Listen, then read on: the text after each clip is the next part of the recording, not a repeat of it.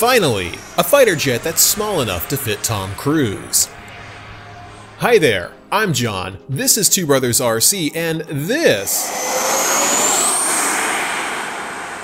is the Freewing F-14 twin 64mm. Let's get straight to the point. If you're flying this jet and you want the most out of it, I'm going to tell you to bypass the stock gyro. If you want to know how, skip to the chapter called Setup Guide. If you want to know why, here's a few examples. Three, two, one. Holy crap! so cool.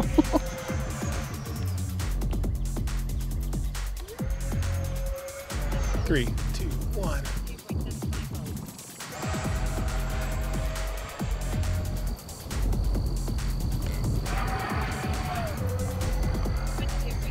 The F-14 is nothing short of near perfection. It's about as good as you're gonna get in the 64mm range, so let's hop right into the review section, starting with the landing gear. Now, since this is a twin 64 instead of a single 64, the F-14 is closer to a single 80mm jet in both fit, finish, and features. So, we'll be using the 80 to 90mm jet review scale for it.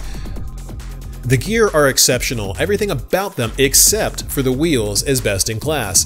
I'm gonna die on this hill and I will not stop talking about it. Hard plastic wheels are doo-doo, and I am tired of paying for or being sent expensive airframes that come with plastic tread that has no shock absorption and sounds like a dumpster rolling down five flights of stairs.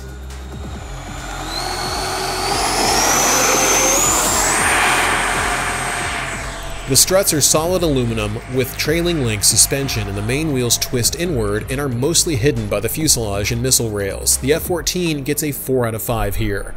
Pro tip to every manufacturer out there, if you want us to rate your gear 5 out of 5, the best way to do that is to start making jets that sound like this.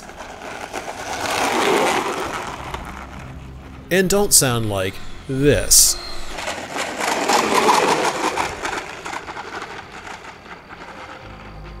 If you want yours to sound better on landing and take even harder impacts, upgrade to Du-Bro low bounce treaded wheels. We'll talk about that later in the vid.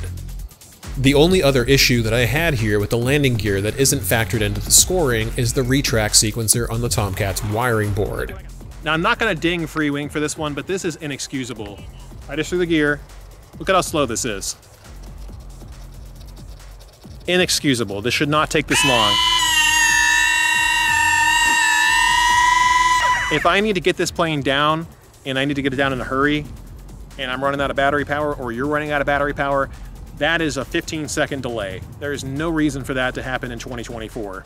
Freewing, please fix this. Whoever is listening, Motion RC, whoever's out there, get them to stop doing this. I should not have to sequence my own landing gear to get the door to operate in a reasonable amount of time.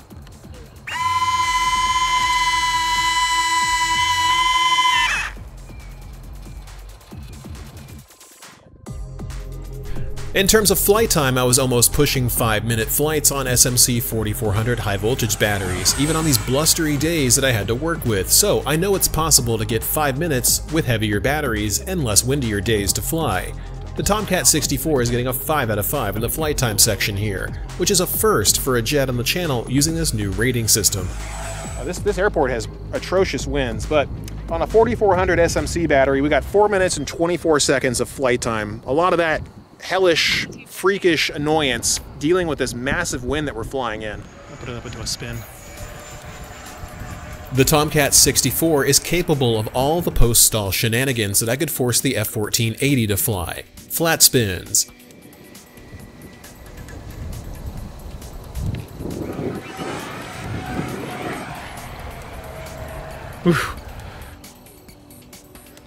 Cobra spins, Cobra maneuvers. High Alpha. And it comes out of the box with a high-powered 6-cell compatible power system, unlike the 80.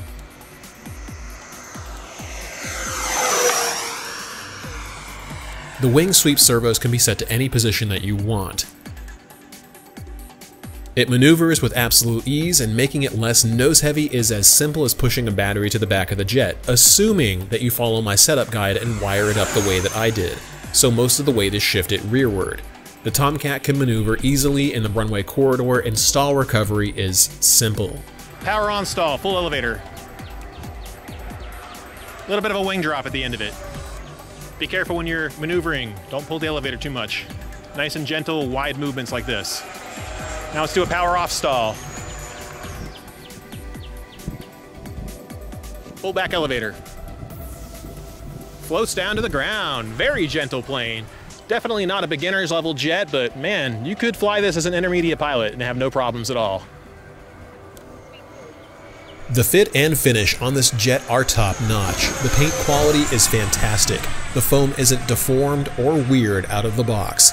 All of the control surfaces are hinged using plastic for longevity, and it actually has decals instead of stickers. And it has full flying stabilators just like the full scale F-14, which is why it does all of this awesome post-stall flying so well. The Tomcat 64 earns a 19 out of 20, which is the highest scoring airframe that we've reviewed so far under the impartial review system that we're holding ourselves to now. To sum up this entire video, the Tomcat 64 is everything that the Tomcat 80 should have been out of the box. Motion should have thrown some weight around with Freewing and forced them to start releasing the 80 with an updated power system and a better landing gear setup. But, unfortunately, we're still stuck with it being what it was when it first came out nearly 10 years ago. I'm thankful that Freewing got the Tomcat 64 right, so let's see them start making the 80 worth flying out of the box and not a total project plane that requires many hundreds of dollars worth of effort to fly it. With the SMC 4400 placed right there, exactly in that position, my center of gravity balances about 10, 10 millimeters behind the wing marks. I'm gonna make it so I don't look like I'm flipping you guys off.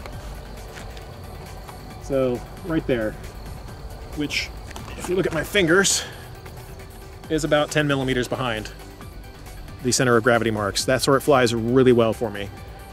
If it was a less windy day, I think I could get it further back, but the plane did feel kind of unstable the first time I flew it like that. Highly recommend either CG mark or 10 millimeters behind, probably not much else. Where the Tomcat doesn't shine is in blustery winds, so be really careful if you plan to take it out on days like that. It can stall easily in wind, and it's hard to fly in strong crosswinds. This isn't something that I'm going to hold against it because not many jets handle variable winds well, if at all, and none of them enjoy wind shear.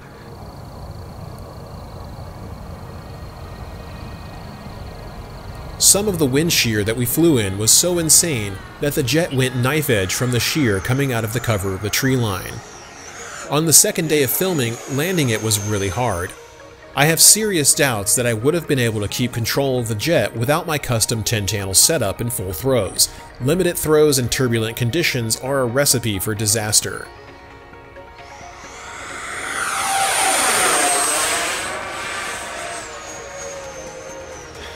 Landing this plane in turbulence is not fun and is very difficult. The best advice I can say is come in with no flaps and hope for the best, get it as flat as you can get it. Because this is hell right now for this plane. It's just getting bounced around everywhere and it does not want to respond to commands. There we go, I think I got it.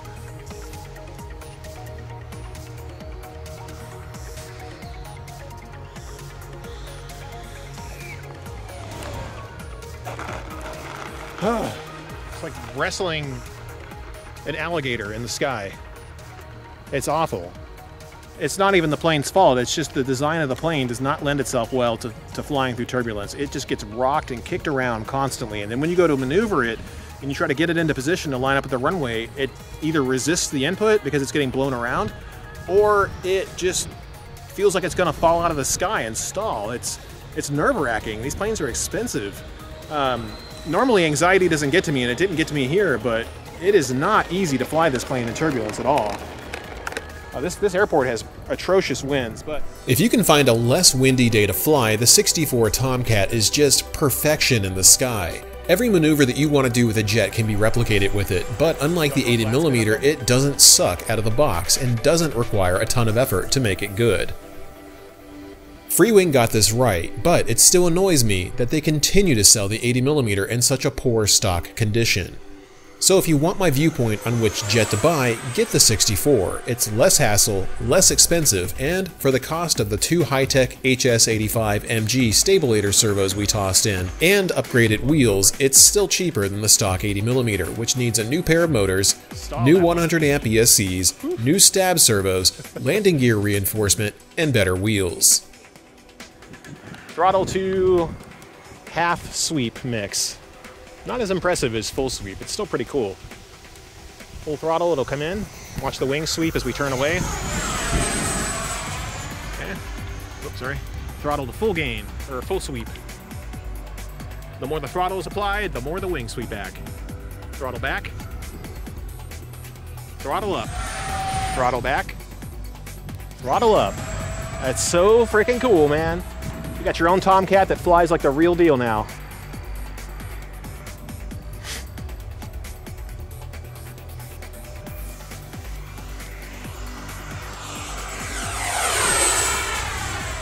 I'll cover both takeoff and landing now so you know what to expect before we move on to the setup guide. Both takeoff and landing will require some knowledge of how to fly a jet, meaning that this is definitely not a beginner level jet. Starting with takeoff, keep in mind rotation speed when you begin the rotation. If you rotate too early, you will drop a wing. This can be exacerbated by wind shear as you see here. If you're not running my setup, you can very likely stall it into the ground.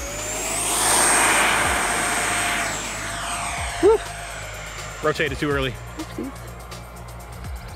And that's why having differential stabilators is a great idea because I was able to correct that before it turned into a full-fledged crash. On landing, you Ugh. need to fly the jet all the way down to touchdown. It is not going to float in. This is not a Habu, this is a Tomcat. It has weight that those thin wings are carrying. To keep it airborne until it touches down, you need throttle. Not much, but just enough to keep it going. Angle of attack here is not your friend. Come in flat and don't flare until you're very close to the ground, otherwise you will drop a wing, even if you land without flaps. Keep this advice in mind and practice your takeoffs and landings. You will be a better pilot for it, and your Tomcat will thank you for not getting scraped up.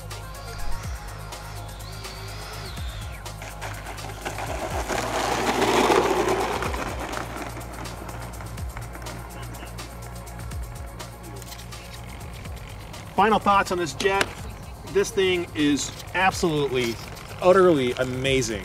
This is probably my favorite jet that I've flown so far. I loved the 80 millimeter Tomcat.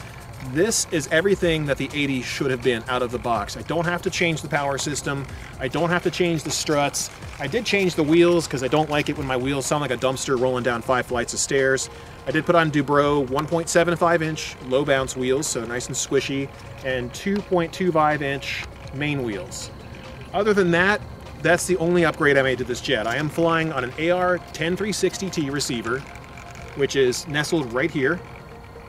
And I have the antenna wired right there, side to side, and going forward right in here, in this exact spot where my finger is.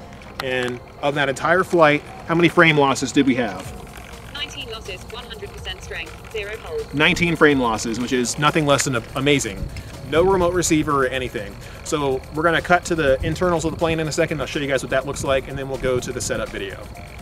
All right, so let's take a look at the internals of the jet so you guys can see where to put your antennas and also get your best CG placement. So, lifting up the wing shoulder plate here, you can see that I got my AR-10360T sitting in between these two foam blocks that the, the wing servos are connected to. And then I've got the entire uh, what do you call this thing? The uh, the gyro board basically bypassed for everything but the landing gear. So get in there and take a look. Normally all the connections go into here. They're all removed and I have it all ran directly to my receiver. So I'm using my integrated gyro on my AR-1063 or 10360T that is.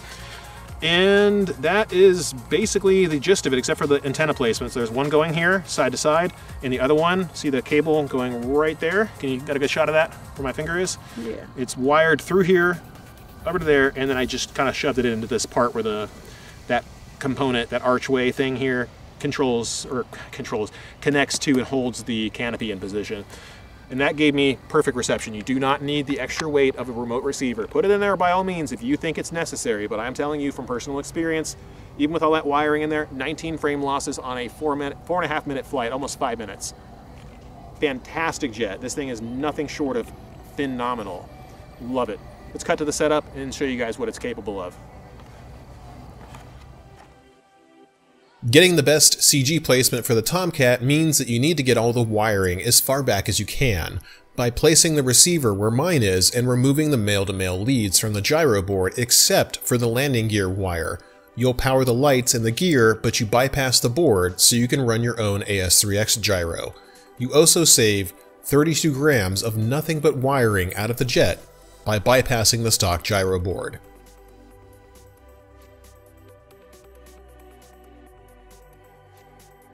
These are my recommended antennae placement.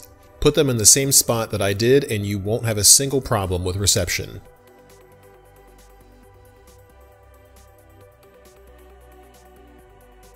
If you want an afterburner, I highly recommend the KMRC double burner unit.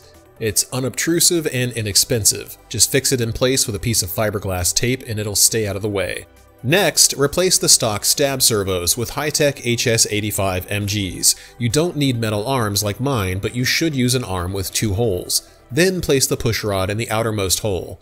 Put the stabilator ball link on the innermost hole. Use a Dremel and use a cutoff wheel to open up a small track for the collar screw so it doesn't impede the stabilator's full travel.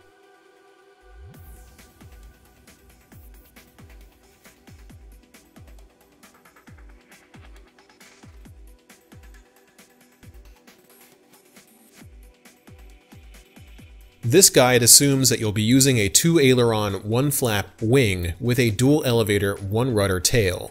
If you want gyro stabilization in roll and pitch on the stabilators, which I highly recommend, join us on Discord via the link in the description and ping me directly. I will walk you through it by linking you to a guide that I wrote.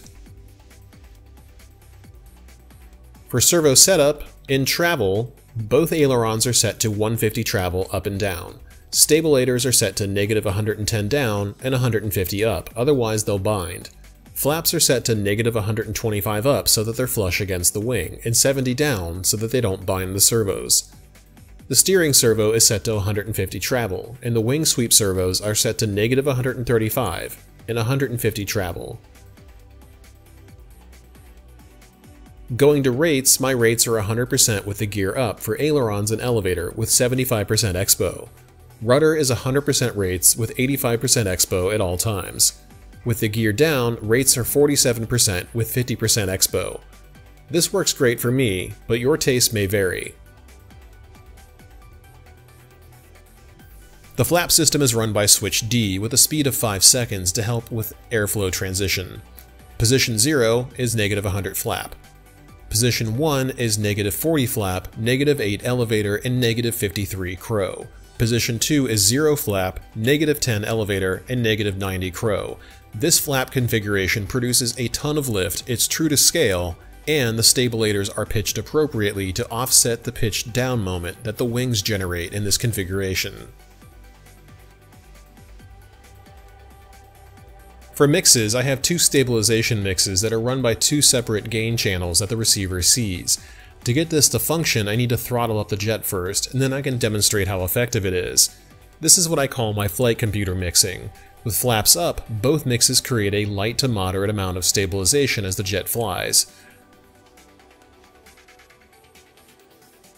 When I throw the flap switch, the jet acts like it has a flight computer when I'm at landing thrust, because I set a custom curve point to drive the gain channel incredibly high at that throttle setting, so the jet is as stabilized as it can be during landing. This makes a huge difference in how the jet handles and keeps it from wrecking easily in wind. It also makes landings way easier too.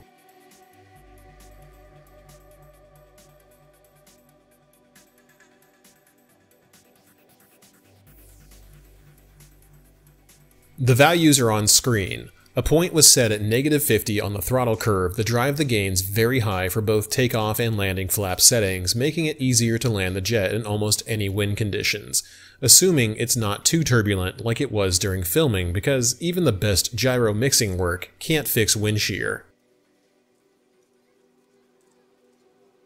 The next mix is the differential stabilator mix, which is often called Tailerons. This is the mix that causes both stabs to drive the jet and roll, not just pitch.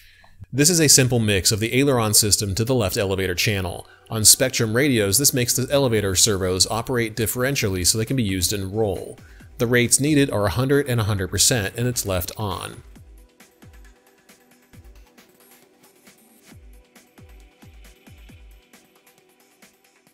The next mix dampens the ailerons when the wings are swept using switch D2. This is a simple mix of the aileron system to the right aileron channel, which drives the roll response of the aileron servos. The mix is controlled by switch D2 and the rate is 75 negative and 75 negative, which reduces the amount of roll the ailerons can produce in comparison to the stabilators. For the steering, this is a simple mix of the rudder system to the AX3 channel, which is the channel that my nose wheel is assigned to. This mix is 90 and 120, but this is a holdover from my old 80 F14, so it should actually be set to 100 and 100, which is what you see me doing on screen now. This gives full 150 travel to the nose wheel, which helps make the jet turn way better than it does in stock form. Steering trim is another simple mix of the right trim switch to the AX3 channel with the rate set to negative 100 and negative 100 and the switch set to on. This allows me to trim the steering without using a screwdriver and picking the jet up. If you want a safety switch to prevent the flaps from smashing into the airframe, this mix is for you. Set the flap system to control the flap servos, then set the rates to 100 and the offset to 100. I use a combo switch because I have two flap switches for multi-position and single-position wing sweep, so set your mix switch to the switch or switches that you're using. I need another mix for the ailerons, which is a little less straightforward. This is a mix of the flap system to the left aileron channel, which controls synchronous aileron up and down movement. This is a rate of 90, 0, and negative 100 offset with the same switches as the previous mix. For throttle-based wing sweep, I use two curved mixes on switch B. You do need to enable Expo for it to be smooth instead of linear, and you need to set the points to 0, negative 30, and negative 125 on the first position. The second switch position for the second mix needs to be set to 0, negative 30, and negative 100 for full sweep back. If it sounds complicated, but you need help, join on our Discord server, and I'll gladly explain further if needed. The throttle sweep aileron mix reduces the aileron effectiveness with the wings swept based on the throttle position. This is a mix of the aileron system to the right aileron channel. Switch position 1 reduces effectiveness by 50% and position 2 by 75%. The multi-sweep mix isn't needed if you set a 3-position switch to control the wing sweep, but if you want a 3-position switch to control it via a mix, set switch C to control the wing sweep channel, AX5 in my case, with a rate of 0, 100, and 100 offset with the switch set to on.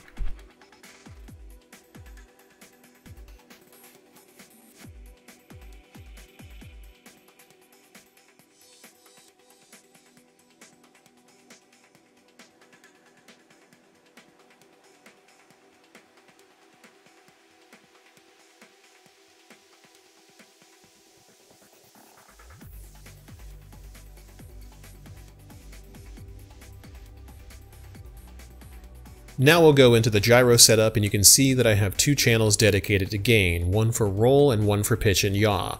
This is what the flight computer mixing is driving. They're set to the sliders on the back of my IX-20 so that I can adjust them in flight as well. Under, AS, under AS3X settings, I use 4X gains with 30 roll, 65 pitch, and 15 yaw. This is the setup that you saw me flying earlier in the video. I hope this helped you out, and if you got any questions, hop on Discord and feel free to ask in the Tech and Setup channel. See you next time, and thanks for watching.